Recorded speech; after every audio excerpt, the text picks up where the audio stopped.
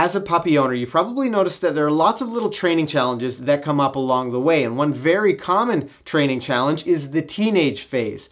Now, the good news is that this happens to nearly every puppy, so you're not in a unique position. But the bad news is if you don't know how to train through this situation, you can really set your training back. In today's video, we're gonna hear from Kayl and instructor Meg about Meg's one-year-old puppy named Highlight. They're gonna talk about the fact that there are actually two points in your puppy's life where training naturally gets a little bit more challenging. By the end of this video, you're going to be able to identify what some of these challenges are, how to plan for them, and most importantly, how to train through them. I'm Ken Steepe, and welcome back to McCann Dogs. Here at McCann Dogs, we've helped more than 100,000 dog owners to overcome the same dog training challenges that you have. So if this is your first time on the channel, make sure you hit that subscribe button so that I can help you to have a well-behaved four-legged family member. The teenage phase is a real thing, and there's a couple times in your dog's life that they're probably going to go through it. Sometimes around four months, next around seven months. And um, today we're going to be talking with uh, Meg. She's one of our head instructors and our online trainers here, and she actually is a young border collie, about 11 months old. And uh, we're going to talk about a few examples um, that you went through with her around that those two particular phases, what she did, how you dealt with it, and what our viewers at home can do to stop it with their dogs. Now, you guys might remember Highlight as a puppy because we actually, I borrowed her several times to use in our, our videos. And uh, she was such a great little puppy. She was eager to work. I had her around maybe 10 or 11 weeks old, and she was just happy to do whatever I wanted. Um, very much for Meg as well. And then when she probably turned about four or five months, you started to do a little bit more with her. Mm -hmm. And uh, what kinds of things did you notice different about her at that age versus like when she was a baby, baby puppy? Yep. So the biggest things would be uh, when she was really young, it was generally just she and I. And the amount of stimulation, the amount of motion, uh, even just uh, keeping the environments calm, uh, everything was easier. I generally trained at my home or in low distraction environments. And then all of a sudden I noticed, and it was a great thing, is one of the things I love about her, uh, she started to notice things more and liked it. So she noticed other people, she noticed other dogs, uh, she got very confident in new situations, but that actually made it uh, more difficult for training because she wanted to seek out all of those things instead of just thinking that I was the most exciting thing in her world. Yeah, and I think it's really common for that to happen with everybody's um, puppy. And a common thing that people will do is they they get kind of swept away with the with the puppy's eagerness, and then we do things like let our puppies pull us towards other dogs, or we let our puppies do this, we let our puppies do that because we think, oh, look at how bold they are. This is great. And then what happens is we kind of start to develop or allow the puppy to start rehearsing behaviors that we don't actually want when they're older. We don't want, you know, a four month old puppy is very different than a three year old dog that's still exhibiting those same behaviors. So, what kind of things did you notice her doing, and um, what did you do to work with through them? Yeah. So, for her, uh, absolutely motion was the biggest distraction. Uh, she thought anything that moved uh, was what she needed to be involved with. So, uh, when I first brought her to class, when she was around five months or so, I noticed that uh, she really lacked focus as any of the other dogs in class were moving. And what I tried to do is make sure, uh, even with those new distractions, that I was still able to rein her in, to bring her back to me. So I made a lot of choices that some of our students wouldn't even think to make. Uh, when I was in class, I chose to sit at the very end so that I wasn't surrounded by other dogs. I probably brought five or six different types of treats. And I also knew that food wasn't really her favorite thing. So I always brought a toy to class as well. So I always tried to set myself up for success. So I had her number one reinforcer. Yeah, and those types of tactics can also be applied for when you take your puppy to a new scenario. Maybe you're taking them to the park for the first time, or you're taking them to a friend's house, or whatever you're doing. When you go to that new location, consider how many um, difficult challenges that you might be applying to your puppy at once. Are they around new people, environment? How much freedom are you giving them? Are they on leash? Are they off leash? Um, so it's really important to set them up for success. She knew she was in a busy environment, something that was new, so she was armed with a lot of reinforcements that she knew was going to help the dog to make good choices. So think about how to set your puppy up um, for success and then make sure that you're ready to change things should you need to. So if going to the park at the busiest times a day when like there's kids running around and there's dogs running around, that might not be the best time to be going to do your training sessions. Maybe pick a quieter time. Maybe go a little bit further away, bring your high value food so that you can start to build on success rather than allowing the puppy to learn from the beginning to make poor choices. So basically, you need to anticipate the problems and then be ready to to attack them. Now, what's really important for you to know is that everybody goes through these adolescent phases with her puppy. Four months, seven months. You know, Meg's a professional dog trainer. She's made some fantastic choices with her dog, but she still went through little periods of time where she had to evaluate the, the situation and make some different choices for your puppy. And you're going to need to do exactly the same. Now, we talked a little bit about four months, but we're also going to talk about kind of the more challenging one, and that's when puppies hit around seven months. There's that threshold where the puppy's starting to be less baby puppy and more into, you know, getting towards to be an adult dog. And the tougher part about this is that you may have had, you know, a string of months where things have gone really successfully, and now what the puppies are going to do is deliberately test you. Even though they might know how to make better uh, choices, they might start to test the limits a little bit more. So we're going to talk a little bit about what that uh, period looks like and what you can do to get through it successfully. She is coming up to a year old, Yep, so almost. she has been in and out and may go in again. A bit of a teenage phase. So, what's some of the things that you noticed the most about her when she got into that sort of that uh, that adolescent testy phase? Yeah, I think the biggest thing for her is that she's exceptionally friendly. If you Oh, couldn't really? tell Didn't already, notice that. Uh, and that's actually with uh, people and dogs, and that's one of the things I love the most about her. But I know that that's going to become one of my training challenges Yep. as well. Uh, she has probably started hiking with my boys uh, probably around the time she was seven or eight months. Uh, because up until that point, everything was pretty much done with her on her own. And it started out fabulously. She was great. Everything was wonderful. She was listening. I did have a long line on her for the first little bit. And then it seemed as though every time I called her, response to name, come command, she was turning on a dime every single time. And I got a little overconfident and I took the line off completely. And all of a sudden, she hit this phase. And um, next thing you know, I would call her, and in the middle of the trail, I'll never forget this, she literally looked at me, looked back, saw the boys running, and gave me a peace out mom and Oh, ran down the so trail. and she blew me off and it was probably the first time ever this puppy's had the opportunity to be wrong. She'd been right so many times i actually thought that she didn't know that ignoring her name was an option but apparently she did. Um, and uh, she did that one other time with a squirrel in the backyard. And at that point, I could have let that go on and on and on for weeks and weeks and weeks, and then it probably would have become a big problem. Instead, the line went back on, and uh, I actually trained her for a little bit with just my old dog that's a little bit less exciting. Yep. He doesn't move as fast, he doesn't uh, act as silly. And when I saw that she was able to respond beautifully around Swift, at 13, then I started including a different dog. And then finally, now she's reintegrated back in the pack.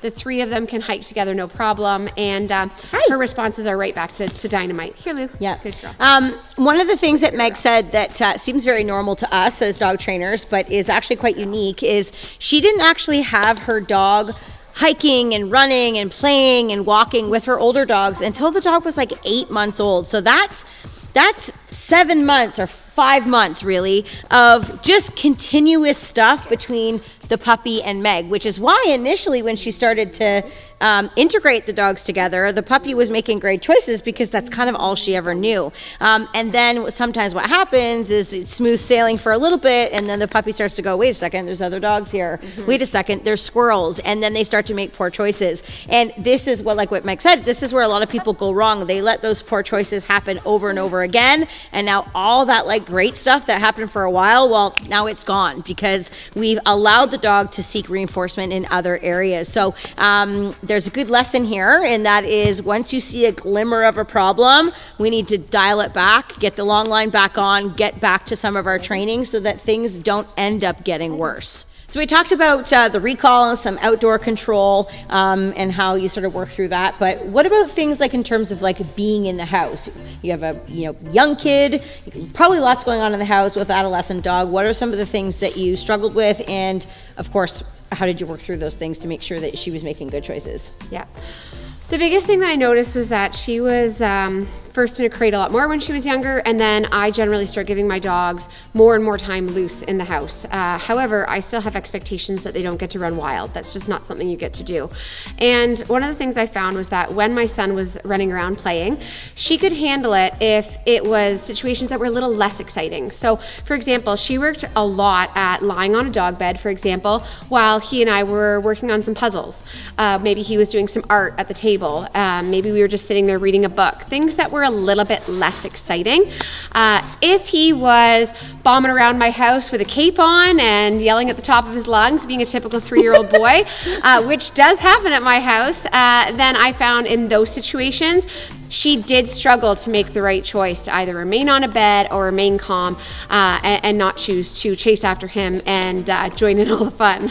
So Meg's example of the kids and dogs as certainly something I'm sure a lot of you can relate to, but um, maybe your teenage phase is, you know, resulting in other behaviors that are not going so well at home, like, you know, maybe having accidents in the house again or chewing your things, your shoes, you name it. Um, actually, you have a story about um, your brother's dog that uh, just recently came up. Yeah, absolutely. He uh, was complaining to me the other day. He's been off uh, due to COVID and working from home for the longest time for months, and he started to give his husky more and more freedom around the house, mainly because because he was there a lot of the time and he was able to watch him. All of a sudden now, uh, he's gone back to work. And that dog, who had a lot more freedom and he thought he was able to handle that freedom, has since proved that he can't. And uh, he came home one day from work and the dog had actually chewed uh, the baseboards while he was at work. Uh, I think he was chewing some of the shoes in the front hall oh, closet oh that were actually in the front hallway, maybe not put in the closet. Yes. Uh, but anyway, they did discover then that this husky had to get put back in the crate again. And he mm-hmm. hasn't been in the crate in months. But unfortunately, for his safety and for the, the safety of their home, home, they've had to reestablish some new rules and some new routines again. I think it's also important to remember that, um, you know, sometimes people think like, oh gosh, I have to put my dog back in the crate and I'm like backtracking in my training, but that's not really how, what you have to think about. I think that there's going to be lots of phases in, in your dog's life where you're going to give them a little bit of freedom, things are going to go well, and then they're going to make a mistake, and then you're going to need to take that freedom away and then offer it again in a little bit. And you might end up doing some back and forth and back and forth until, you know, you can't really really remember the last time they picked up shoes when they're not supposed to, or you can't remember the last time they had an accident in the house. That tells you that they're ready for some of that freedom. But I think far too, uh, people are too eager to give their young dogs freedom and opportunity, and then you end up getting more mistakes rather than having them earn the freedom in the first place. Or they give too much too fast. Yes. So we hear often about students that uh, for the first time ever, they left their dog and they left them for an eight hour yes. period of time. Yes. Instead of typically what we would do is is, okay, I'm gonna try leaving my dog. They haven't ever chewed anything. They haven't had an accident in the house in a long time. Why don't I leave them loose while I go have a shower? Mm-hmm. Why don't I leave them loose while I go down the street to go get the mail? We do shorter increments of time and we build up to that yep. instead of throwing them a huge chunk of time where they can get really creative with what they do while and then being like well i hope they're okay. Yeah i hope i, I have a do. couch when i get home. Yeah absolutely. Definitely being able to make better choices like that is important and then being able to take away the freedom which is not a fun thing to do. But um, just like kids you sometimes have to dial things back and um, offer it once again once you feel that that they're making better choices so another common one that we hear often from our online students uh, is about a dog that's been given a little bit more freedom in the house. Things like going up on couches, mm-hmm. going up on beds, sometimes without permission, or sometimes then once they're up there, the owners have a difficult time getting them off again mm-hmm. and uh, aren't really sure how to deal with that because it's the first time the dog thinks that uh, they get to call the shots on uh, on some of these sort of uh, gifts around the house. Absolutely. I think sometimes adolescents they are more naturally curious maybe they're taller and they can see what's up there now a little bit more. Um, but I think it's also common for them to be like, oh, well, I wasn't really allowed to do this when I was four months, but how about when I'm seven months? Mm-hmm. Like, do the rules still apply? So working through those things is really important. Um, for um, issues like that specifically, jumping on the bed, jumping on the couch, maybe counter surfing, jumping up to see what's on the counter, one of the things that we really recommend that people do is go back to having a leash or line on the dog in the house because those um, particular behaviors, among others, are very self self-rewarding behaviors, which means if you're not there to catch them in the act of doing it, um, they will repeat it over and over and over again, especially if they get to get up and have like a nice snuggly nap on the couch, or they get to get up and steal a loaf of bread and down it while you're not paying attention. So having a leash on is going to be really, really important. With that, obviously, is going to come um, supervision. Um, in a busy household, um, I know when we have lots of stuff going on, there's like certain things that we use in the house to like make supervision easier. Um, what are some of the things that you do in your house to like make your life easier so you don't have to watch the dog all of the time? For sure. Um, my son's room is a hot topic right now. Uh, it's uh, generally a bit of like a bomb went off uh, in his playroom. So often uh, the playroom and his bedroom, I close those doors sometimes because I don't want to see what's in there, uh, but also because there is a lot more temptations there than any other room. Mm-hmm. And I find that if I'm downstairs, I want to know uh, that there's no chance she's getting up on his bed to see what his stuffed animals taste like. Mm-hmm. I don't think she would do any of those things, but I don't want to give her the opportunity to find out. Mm-hmm. So I restrict access to a whole floor of my house. Yeah. I basically close all the bedroom doors. So sure, she might run up the stairs and see what's up there. She's going to find an empty hallway and she'll generally zip right back down. When she was a baby puppy, I just put a baby gate at the bottom of the stairs. I didn't even let her go up and down the stairs at all. Mm-hmm.